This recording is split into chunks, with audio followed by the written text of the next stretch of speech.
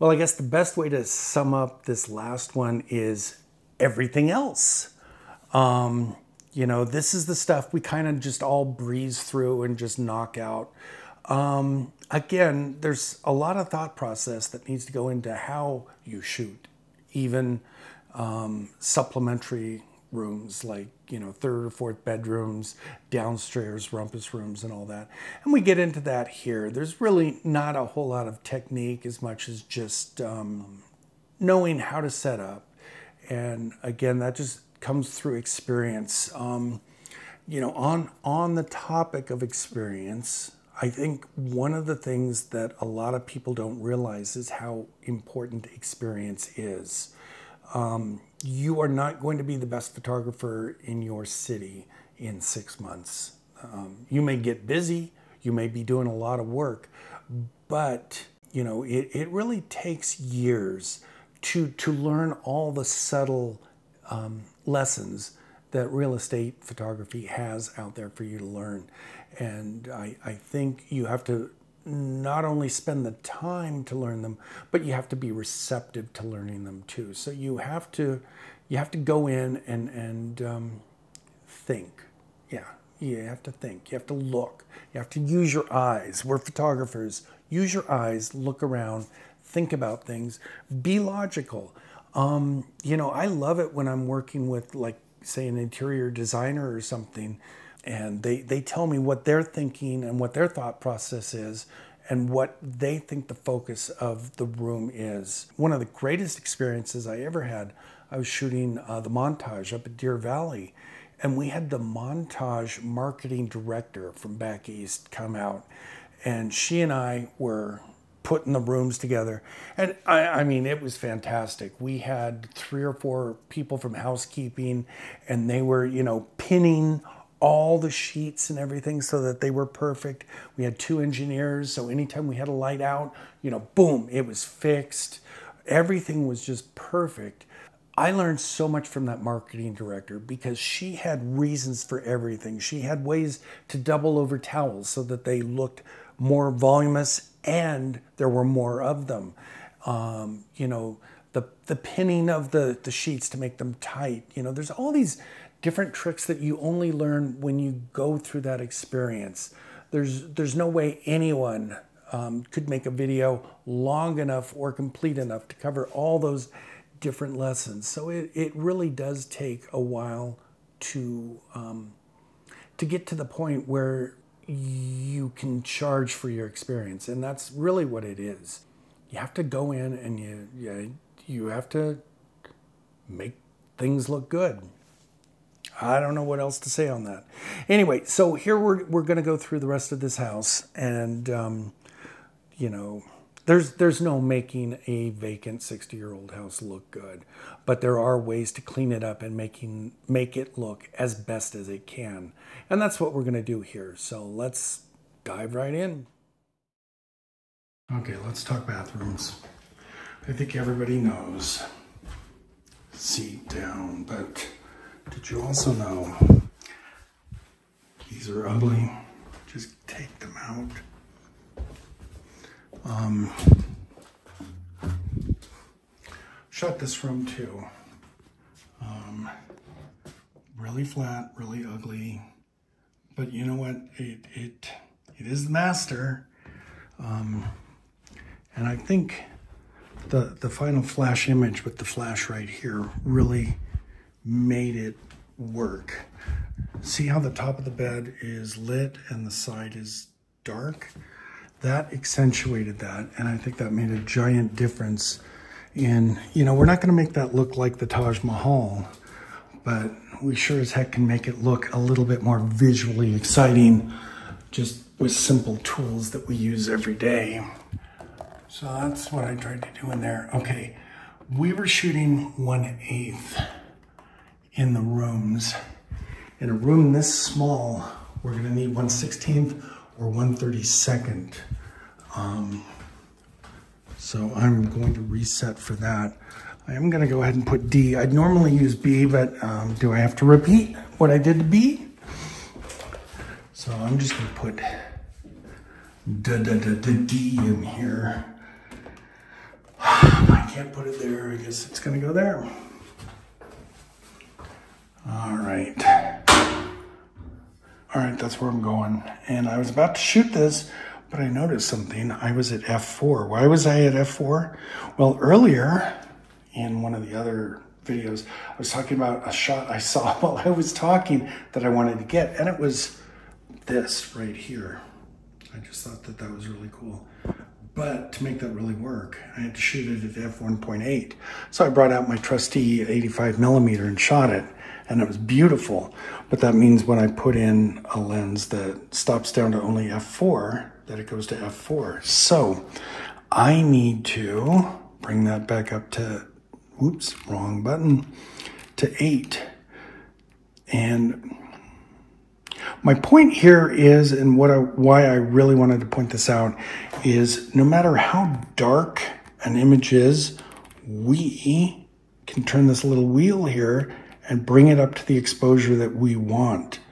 Um, and it'll look way brighter than it does in real life in the viewfinder.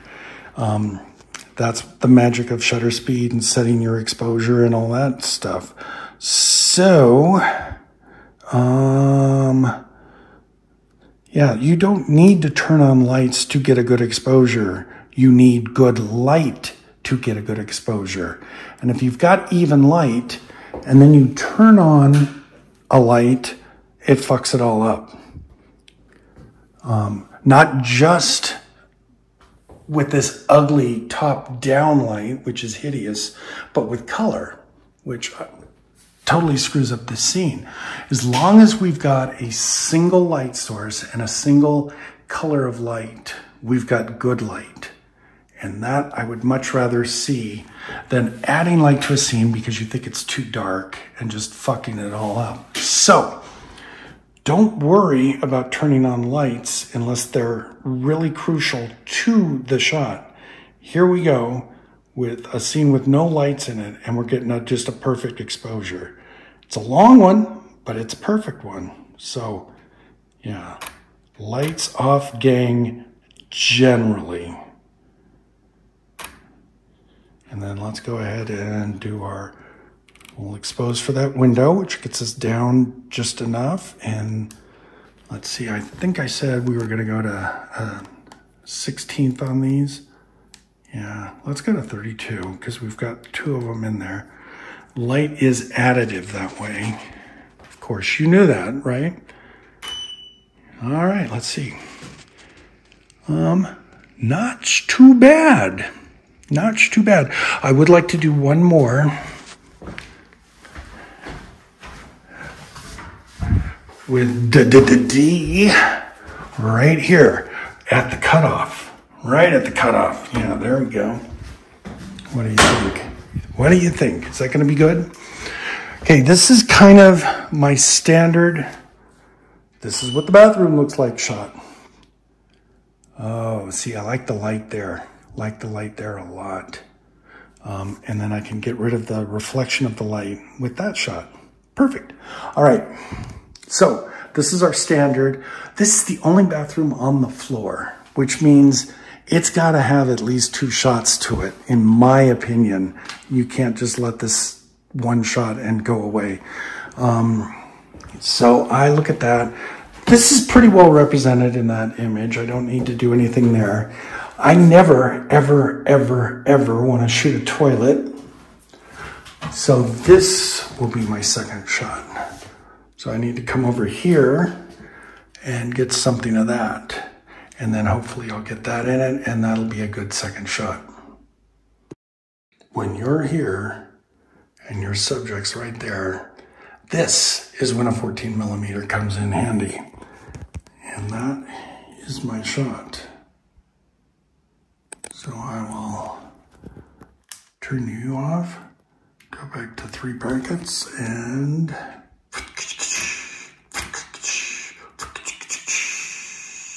four seconds. And let's take a look at those. Not too bad. Bring the exposure down and we'll do our flash one. This is really hard to do one-handed. Yep, I think that works. You know what I'm going to do? I see me reflected there. I'm going to do one more with me out of the shot. I do want you to note though, how do I avoid reflections on the key part of the image? I am lazy. I open the goddamn door. That's all it takes. Open the damn door and you cause yourself a lot less heartache. So, hey, look, it's me. Ah, I really am here. All right, so I'll squeeze out over here, press the button, get out of the shot. there we go. I bet you it's good. And it is. Sweet. All right. Shooting the bedroom, and what do you notice? That giant discoloration. What is it? Well, I can tell right off it's that window. But that window looks green, not yellow. I wonder what it is. Well, you have to get over into that light and look through the window. Holy moly! It must be all the orange from that brick. So, needless to say, to neutralize this color behind me, I used a flash in this room. I probably wouldn't have, it being a second bedroom and all normally, but um, the discoloration um, made me say, yeah, flash it so that I can get, I can neutralize that color. For what it's worth, the reverse. No color problems at all. It's just fine. All right, now let's look at a, a room like this. Big, spacious, as you know, sort of boring. There's nothing flashy or exciting about it. It's family room. Well, there is this. I do want to point this out. If the home you're shooting has one of these, it is an unwritten rule that you have to turn it on. You have to shoot. You have to play. Come on. Oh, this is so hard one-handed. Damn! Come on. I am not. Ooh, I made that one. Yeah. We're going to shoot that shot. Um, again, very boring, very flat, very pastel room. So, um, you know, I'd still shoot my three little outlying ambience, which I did. And get those.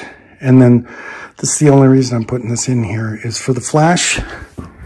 Just take it, put it away from the camera and light enough to just fill all that. And then take your shot. I think I want it, it's at four. I think I'm gonna take it to two. And you know what? There you go. That's all you need. This is how I would handle just about any bedroom, all your bathrooms, unless, you know, they're major or you, there's something, but your secondary bedrooms and bathrooms, this is, this is how you do them. Three shots, quick flash, put it all together, and then move on. Here's another concept I came up with when I came into this room. Again, a basic square flat room. And I shot one shot from here just to kind of show the layout of the film or the room. And then, well, guess where I shot the second one from? Here. Um, I think it's it's very important um, to not not shoot the same shot. I could have shot that shot there, and then come here and shot this. That's the same fucking shot. I mean, what have you told me that's new? Nothing. If you're going to shoot more than one shot of a room, show me something wildly different. Give me new information. It's all about information. You are the passer of information from the homeowner to the potential buyer. So do shots that show completely new and different things. Expose new facts about the subject. Make each image new, unique, and different than the one before it. And tell a story. Walk me through the house. Don't just throw me a bunch of random images. Let me see what I would see walking through the house. Here's something else really, really stupid, but it needs to be said. You shoot a room like this, you know, you can tell you're going to get a good exposure. A fifth of a second, half a second, something like that. What about in there? Oh my gosh. Well, even the iPhone adjusts the exposure so you can see in here. And would you normally shoot this? Maybe, maybe not. This is something I'd be talking to the homeowner about or the realtor, but this right here makes it a yes. Washer and dryer, I always shoot a washer and dryer room. And I'm going to close that, do that, clean it up a little bit. Um, yeah, washer and dryer, always shoot. Always, always, always. These, I'm going to shoot. Um, what I tend to do is ask the realtor or the homeowner if there's anything new or been put in in the last year or two. Um, another thing you can tell them too is just because I shoot it, you don't have to show it. But, you know, what if somebody from Baltimore is asking about this house? What's the heater look like? Well, there's the picture. You didn't put it in the MLS, but you can send it to that guy and they can see it and know exactly what they're getting into. So don't always shoot these, but when I do, it's for a guy in Baltimore. Something else I also knew coming in that we had or have uh, door to the outside right here. Um, so I shot this room knowing that I had this placeholder here that people, that's unique, people would recognize. So I had planned to shoot a shot that showed how to get outside, but also use this placeholder so that people would know where it was. You know, um, you know, you don't want people lost walking through your house. Let them know what it is. Um, I don't know if that shot's going to be usable or say what I want. So I'm also going to get this shot that shows the outside. Um, also, there was no lock on that stupid piston. So there's something we all have to do at some point. Use our wallets. And I believe a lens cap to hold that door open.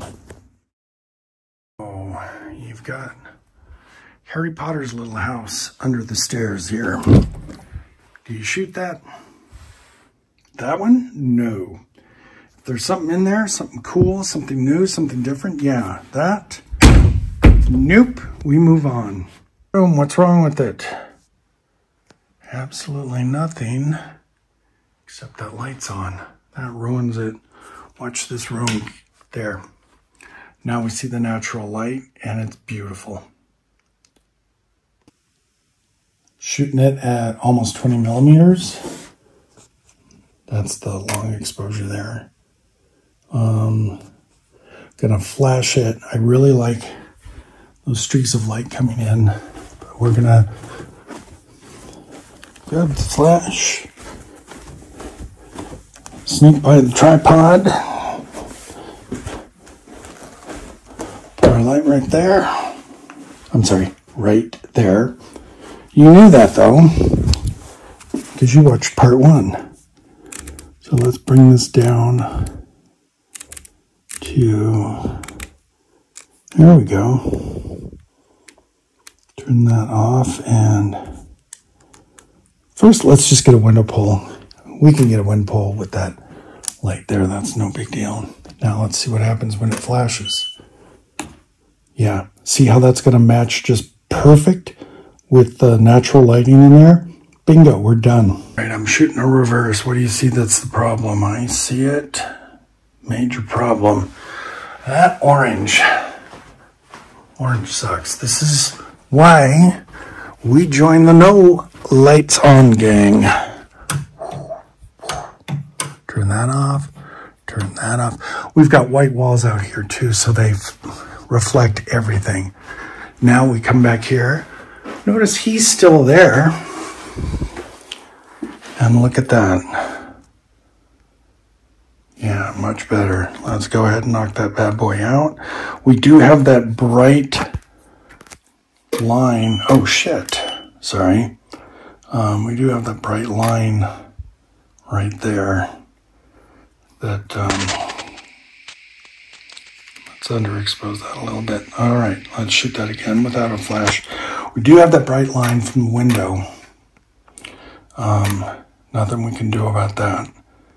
other than underexposed till it's not in the picture. Okay, so this is where you, this is the trick for eliminating discolored light. You underexpose till you no longer see the light, and then you only use flash. That way you've got, again, a single light source. Jeez, did I do three banger again? Um, let's see. There we go. That's a little overexposed, but there you go. Do you see that? We mix that in and we won't, will not have that miscolor. And that's because we took the exposure so far down that there's no other light in the picture other than that flash. That's how you solve the problem. What's wrong here? This has to go. This has to go. And I'm going to take that out too because I can. And there's no real reason for it to be in there, so I don't like that much either. I think these are both gonna. Uh,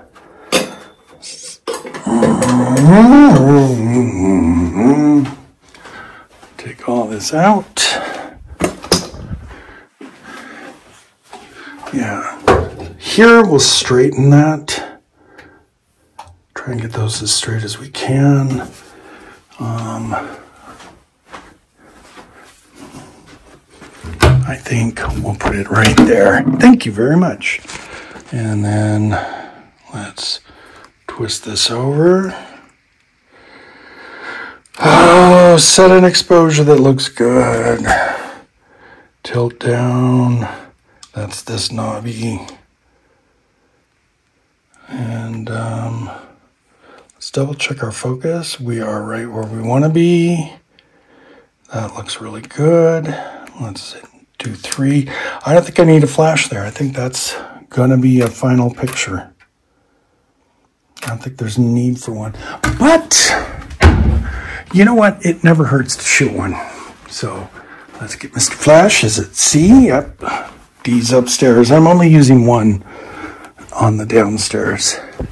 Where's it going to go? Oh boy, right there, of course. And let's bring our light down a little bit. And we're going to need an exposure way down into the 32s-ish. All right, what's that look like? Um, looks a little bright on the iPhone, but in person it looks pretty good. Let me see if I can Nope, I can't. Oh, wait, I can do it here. There, see? That looks pretty good. Bingo. And now, the party room. Last room, last shot.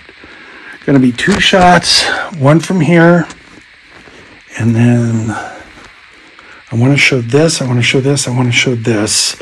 Really don't wanna show that, but um, I think if this is easy to move, we're gonna just pull it over here so that I can put a camera over there and get the shot I want.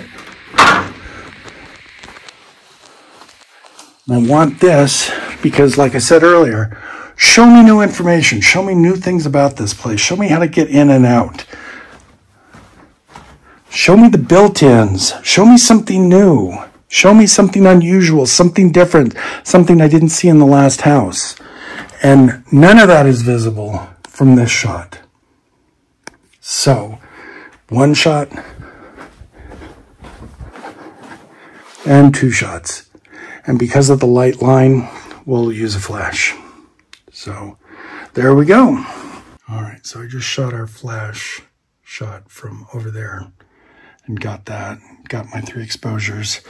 Um, I am going to leave that there the last bit of any sort of advice or lesson from this shoot is from Wayne Capelli and what he calls light firming. And that is if you think ahead enough about all your shots, you can put lights in positions that you can use for multiple shots and not have to move them. Again, that saves you time. Um, you know, earlier we talked about not doing doing the amount of work that you're paid to do, well, I think another important um, thing to think about is to not work too hard. If there's two shots and one is shooting right into a window and you're going to have to do all kinds of window pulls and nasty things like that, and it's a lot of work and you really don't benefit that much from it, um, you know, you're working too hard. Um, you know, the, the, the way you should do your, do the easiest, quickest, fastest shots you can. Um, and that's something I've learned from the HDR photographers. You know, they just in and out as quickly as they can. If you're doing something that's going to benefit the shot, do it. Um, but if, if you're just, if, if you're just looking at a hard shot, that's a hard shot to do, you know, it's okay to be a little lazy and, um, you know, to, um, to do it in a quicker way as long as you're getting a quality product. I guess that's what I mean to say. Okay, last light, I'll put it right here just to fill in this area for the background of this shot. See, that's one of those things. I'm making more work for myself here, but I think it benefits the shot because, well, actually, let's do one more where I bring that light down some because that's too bright there. And that's not enough light there. Let's try that. We're at 1 8 now. Yeah, that's a little bit too much. There, 1 16th. Okay, I think that works. That looks good to my eye. Um, but see, for the other ones, we've got this giant black hole. And to me, that's a big enough black hole that uh, I think it was worth the extra work or will be worth the extra work to cut that in. If that were just a small little thing, I could probably take the high exposure of the ambience, there's our three ambience, and just crank that up and use that for a small hole. But I think that was big enough that it was worth lighting. All right. Well, that is it. I'm going to bid you adieu from this home with this wonderful bed and this wonderful bathroom, all this wonderful toilet paper, and Mr. C. So I hope you got something out of this. And now I guess we're going to go look at editing.